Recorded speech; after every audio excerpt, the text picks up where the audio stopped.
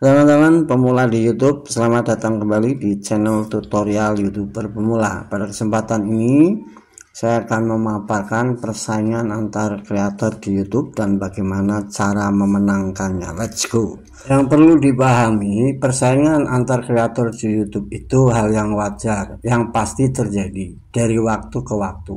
Kompetisi antara para kreator konten itu untuk mendapatkan perhatian, jumlah penonton, dan pelanggan.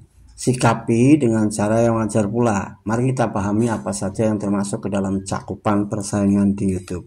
Inovasi. Bila diperhatikan para konten kreator yang sukses di YouTube, mereka senantiasa berupaya mengembangkan ide-ide baru yang tetap relevan dengan tema channelnya dan menarik bagi penonton. Contohnya percantik thumbnail, judul yang membuat penasaran, deskripsi singkat, padat, komunikatif, dan mengandung kata kunci yang tepat dan terkait dengan isi videonya. Kolaborasi ini diperlukan untuk memperluas jangkauan dan menarik pelanggan baru.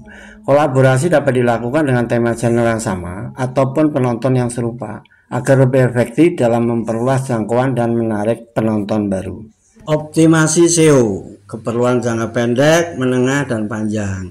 Optimasi SEO menjadi poin yang tidak dapat diabaikan begitu saja agar video lebih mudah ditemukan oleh audiens yang mencari topik tertentu.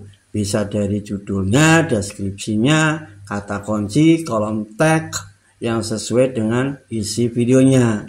Tentu harus menggunakan kata kunci yang tepat untuk mendukung kemungkinan video mudah ditemukan dari hasil pencarian.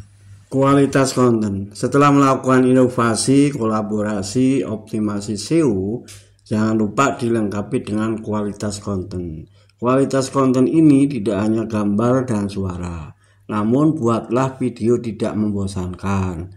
Dari mulai narasi yang efektif, tampilan gambar dinamis, termasuk durasi video juga disesuaikan. Narasi langsung kepada poinnya agar tidak berdele-dele dan membosankan. Tanpa menghilangkan maknanya agar penonton mendapatkan poinnya. Percantik tampilan channel teman-teman. Upgrade tampilan channel agar lebih komunikatif, nyaman dipandang, variasikan warna dan model huruf yang tepat. Menambahkan playlist juga tidak ada salahnya. Salah satu upaya meningkatkan peluang untuk diklik oleh audiens ketika penonton berkunjung ke channel teman-teman. Evaluasi dan analisis teman-teman. Sebagian besar YouTuber pemula masih malas untuk memanfaatkan YouTube Analytics.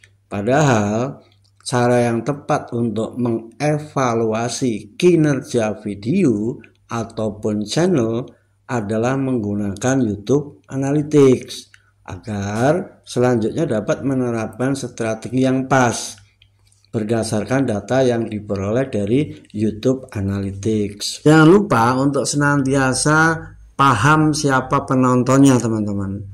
Pertama, lakukan menarik perhatian. Caranya percantik thumbnail, bikin judul yang membuat penasaran ataupun sebuah solusi, namun bukan clickbait.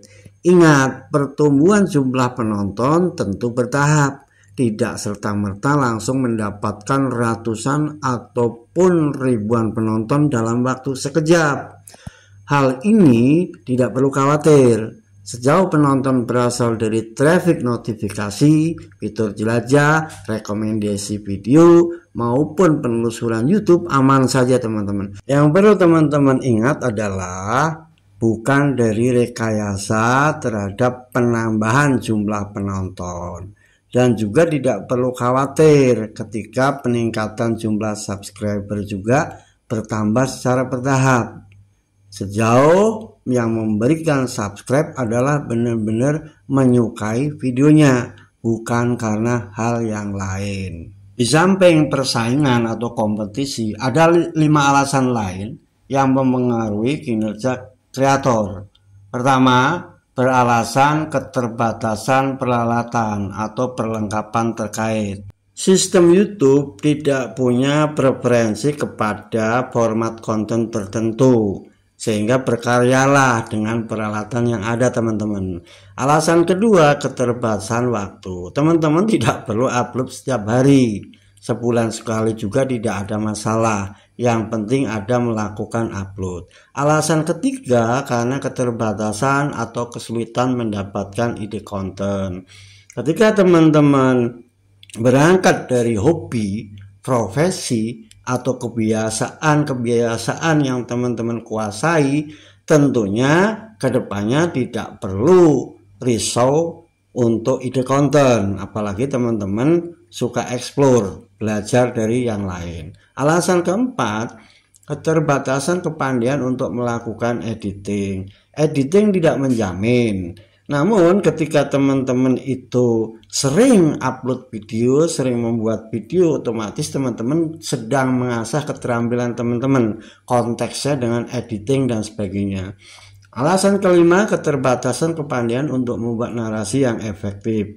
Sama jawabannya. Semakin kita sering berlatih, semakin kita sering membuat dan upload video, kita belajar mengasah dari kepandaian kita untuk membuat tontonan yang semakin menarik, semakin tidak membosankan dan tentunya akan mendapatkan peluang video ditonton oleh penonton yang tepat yang benar-benar menyukai video teman-teman melakukan subscribe bahkan ada kemungkinan video teman-teman di share kepada teman-teman mereka yang memiliki pemikiran yang sama. Jadi jawabannya adalah tetap melangkah sekecil apa pun akan meningkatkan peluang untuk sukses di YouTube. Namun semua itu perlu konsistensi dan kesabaran untuk memenangkan persaingan di platform YouTube. Selamat mencoba, semoga berhasil. Salam sukses selalu.